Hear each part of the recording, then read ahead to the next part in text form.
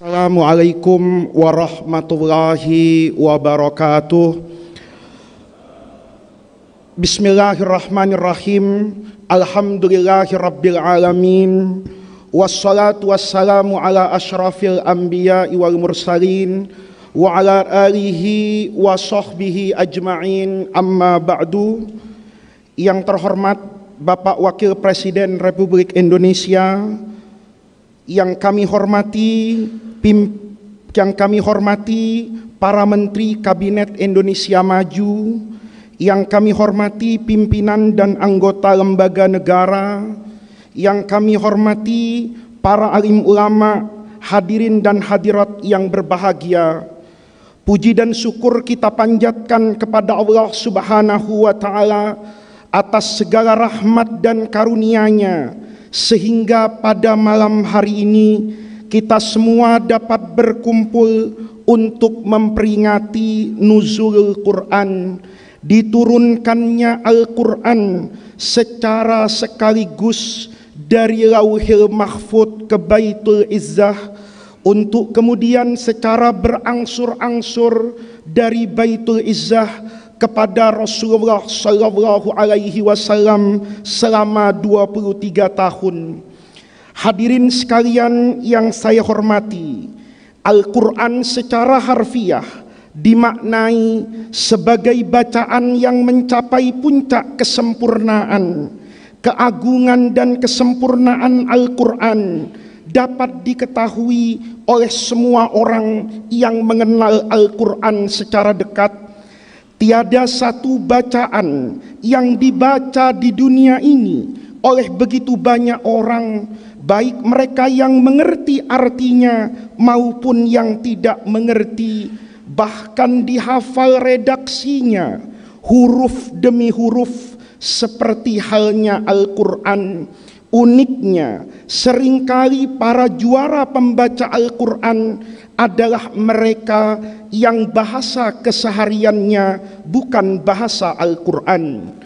Tiada satu bacaan yang mendapat perhatian sedemikian serius melebihi Al-Quran. Perhatian yang tidak saja tertuju kepada sejarahnya secara umum, tetapi sejarah ayat demi ayat, baik waktunya, sampai kepada sebab-sebab diturunkannya ayat tersebut. Tiada satu bacaan pun seperti Al-Quran yang diatur tata cara membacanya, mana yang harus diperpanjang, mana yang harus dipendekkan, dipertebal atau diperhalus ucapannya, di mana tempat yang terlarang boleh atau harus bermula dan berhenti bahkan sampai kepada etika membacanya.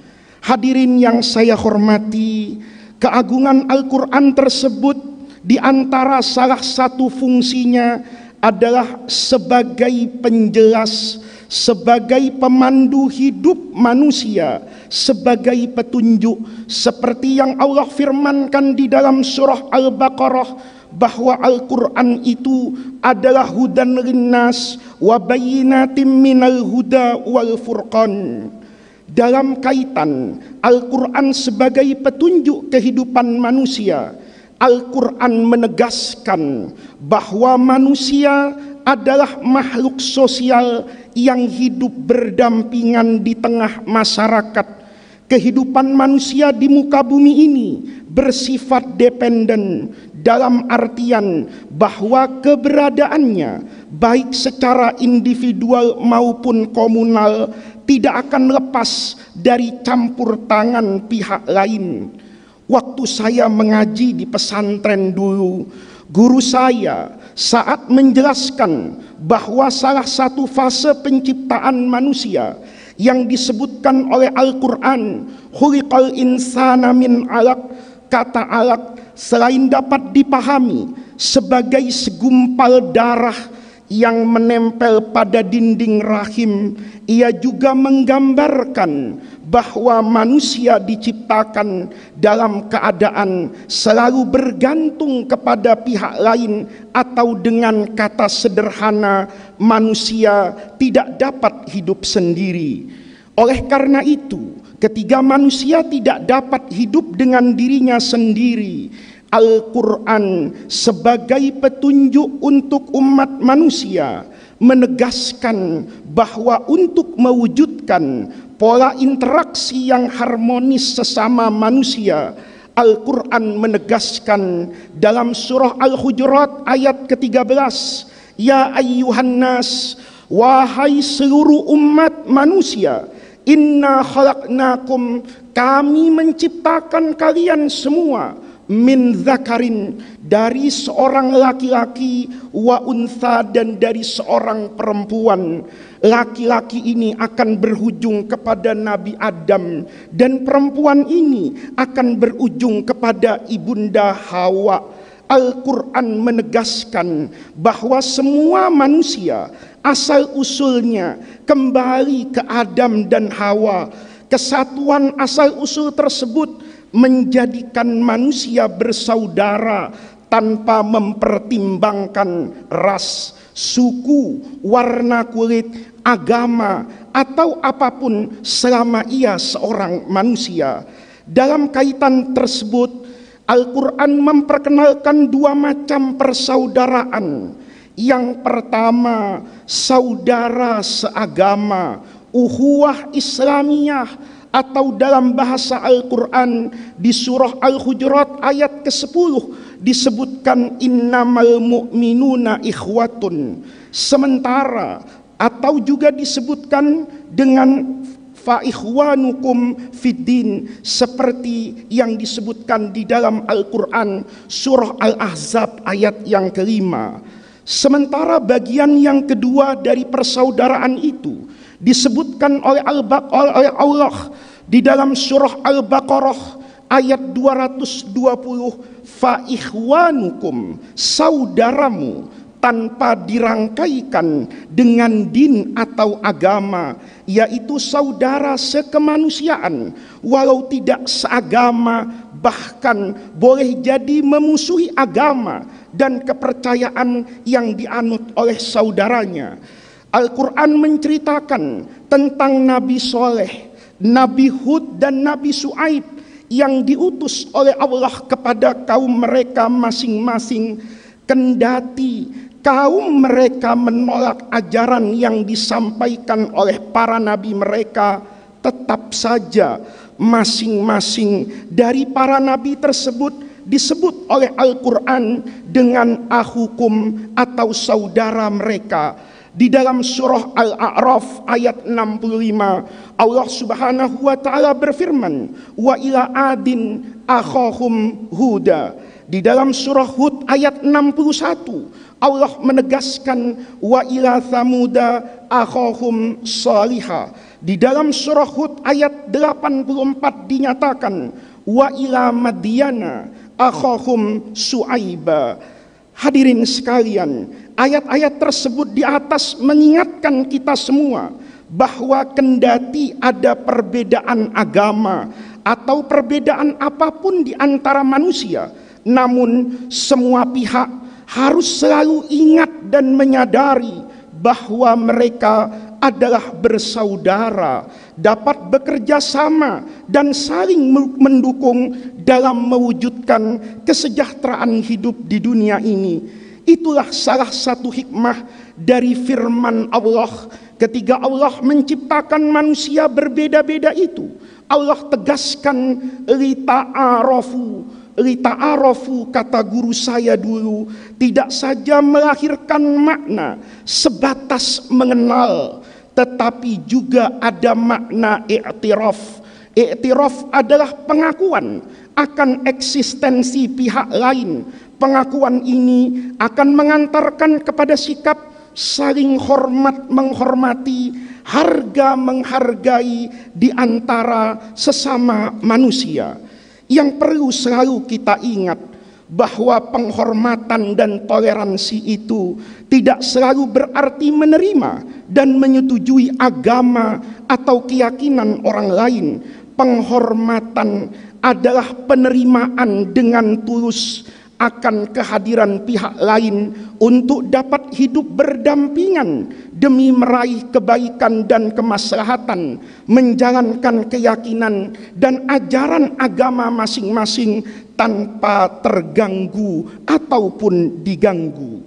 Hadirin sekalian yang berbahagia, sebagai rasul yang membawa wahyu Al-Qur'an, Nabi Muhammad telah mengimplementasikan pesan-pesan luhur Al-Quran tersebut dalam kehidupan sosial kemasyarakatan semenjak beliau sampai di kota Madinah. Langkah awal Nabi Muhammad adalah menjalin hubungan persaudaraan antara seluruh penduduk Madinah dengan mengikat mereka semua dalam satu piagam yang indah, piagam Madinah dalam piagam ini Rasulullah menegaskan lana walahum wa alaina ma'alaihim. Nabi Muhammad menyatakan bahwa semua anggota kelompok masyarakat di kota Madinah diakui eksistensinya dan dilindungi hak-haknya. Di tahun ke-10 Hijriah saat umat Islam bersama Nabi Muhammad berada dalam masa keemasan dan puncak kejayaan serta kekuasaannya. Nabi Muhammad mengadakan perjanjian damai bersama uskup Najran Abu Harisah 60 orang dari tokoh Nasrani yang datang ke Madinah mendapatkan sambutan hangat penuh hormat mereka kembali ke Najran dengan bersuka cita mengingat pesan yang disampaikan oleh Rasulullah li anni a'taituhum hadzal ahda ahdallah anna malana wa alaihim ma alaina. Hadirin sekalian yang berbahagia, sebagai penutup uraian di malam yang penuh keberkahan ini, saya ingin mengutip pandangan seorang ulama tafsir saat menjelaskan firman Allah di dalam surah Al-Mumtahanah ayat ke-8. La yanhakumullahu anil ladzina lam yuqatilukum fid din wa yukhrijukum min diyarikum antabarruhum wa tuqsitu ilaihim innallaha yuhibbul muqsitin Allah tidak pernah melarang kamu berbuat baik dan berlaku adil kepada mereka yang tidak memerangi kamu karena agama dan tidak mengusir kamu dari negeri kamu. Sesungguhnya Allah menyukai orang-orang yang berbuat adil.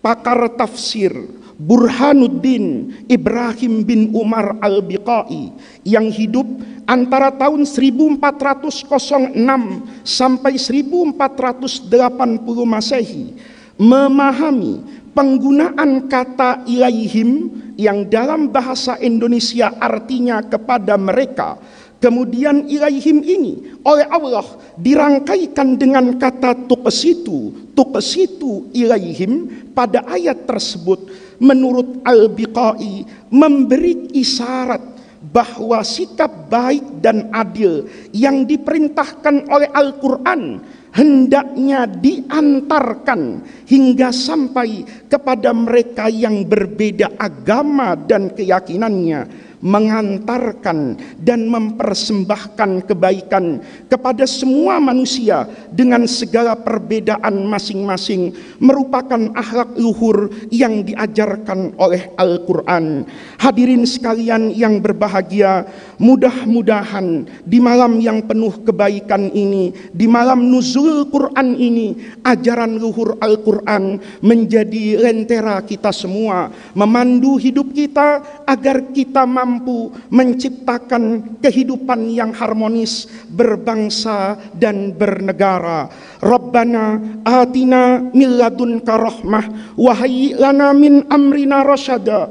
Allahumma la tahrimna khaira ma indaka li syarri ma indana. Kurang lebihnya saya mohon maaf. Terima kasih atas perhatiannya. Wallahu muwafiq ila aqwamit thoriq. Wassalamualaikum warahmatullahi wabarakatuh wabarakatuh